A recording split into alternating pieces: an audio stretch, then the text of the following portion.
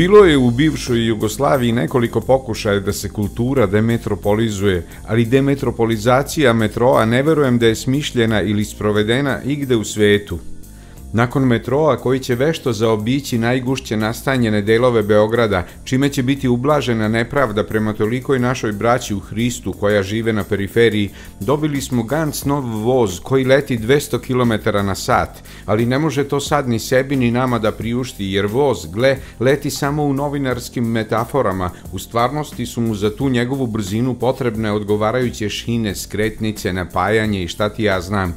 I pored toga voz koji smo poručili od braće švajcaraca stigao nam je sa tačnošću koja sinove Alpa odvajka da krasi. U susret vozu izašao je vladar lično sa svitom koja jedva da zaostaje za onom kad čeka previsoke goste iz Rusije. Velelepni voz je za nas veliki podstrek da napravimo i prugu po kojoj će kompozicija sa svojih 316 putnika obskrbljenih besplatnim internetom da sevne shodno voznom redu.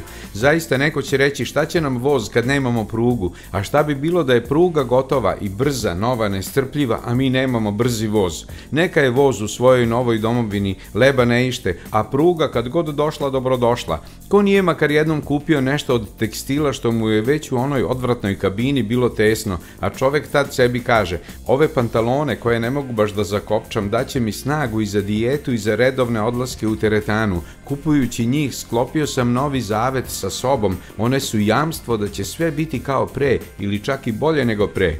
Ono što me kod novog voza oduševljava, osim njegove brzine, usled koje neću gledati milu ravnicu Srema i Bačke, bit će mi muka, pa ću gledati samo ozarana lica saputnika i lica stjuardesa koje će me nuditi beskvasnim keksom i tabloidima, jeste što znam da ću za pola sata stići tamo gde su me dosovci vozili sat i po.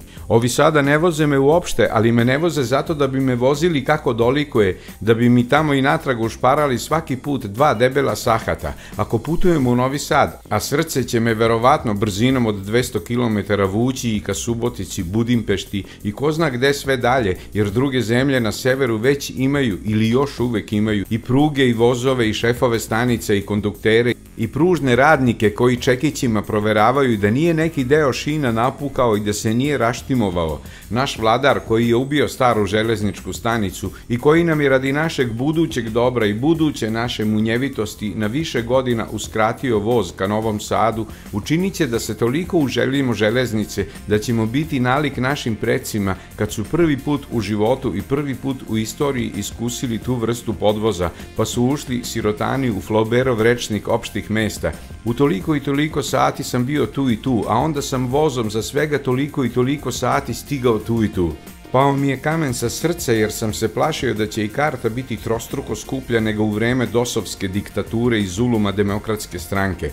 Karta će do srpske Atine koštati 1000 dinara. Ako je povratna, moći ću taman od penzije da svaki bogovetni dan idem u Novi Sad. U brzom vozu imaću udobno sedište, grejanje i kladim se neko posluženje kojim će preporođena železnica Srbije hteti da privuče što više putnika, a ovi na naplatnoj rampi autoputa makar bankrotirali.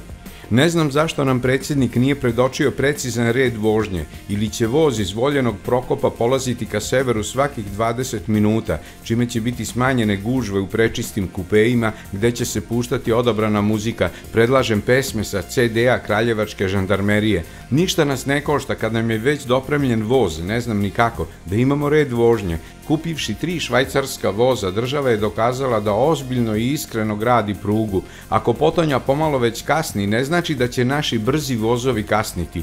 To bi uz 200 km na sat i uz gust vozni red moglo da bude i opasno, ali vratimo se još jednom snu, metrou.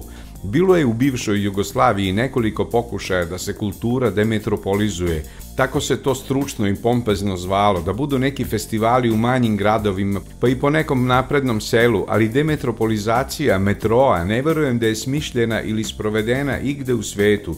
Jeste metro, pošto je napravljen u glavnom gradu, bivao građen i u drugim gradovima, ali da se prvi metro pravi na obodu glavnog grada, da se toliko napadno kloni delova grada gde je većini najpotrebniji, to ne verujem da je igde viđeno. To nigde nisu videli ni profesori građevinskog fakulteta koji su neobuzdane kreativce iz vladajuće partije pokušali da upute u abecedu gradskog saobraćaja i podzemne železnice. Ja profesorima nije bilo najvažnije da budući metro podigne cenu kvadrata u delovima koje je vlast proglasila srcem Beograda. Stoga su se saborno ispisali iz istorije, istorije građevinskog i saobraćajnog beščašća i proizvoljnosti, ali mi imamo ludu sreću da naš vlasnik i gospodar zna sve i to zna najbolje, pa mu bojkot jedne stručne i više nego nadležne ustanove za ostale iz Jugoslavije, čijeg je vladara odavno građevinski nadmašio i poslao na bankinu istorije ne može pokvariti dan.